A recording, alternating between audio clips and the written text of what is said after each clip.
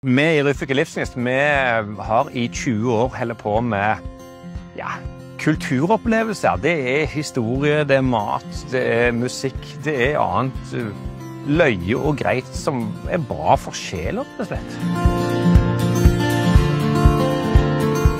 Målet vårt det er alltid å kunne fyre opp under livsgnisten. Og hvis vi kan få folk til å lære og lytte og leke og le, da blir vi skikkelig glad. Vi liker jo å være grundige i det vi gjør i, planlegging og gjennomføring av arrangement osv. Og, og vi melder på om regnskap.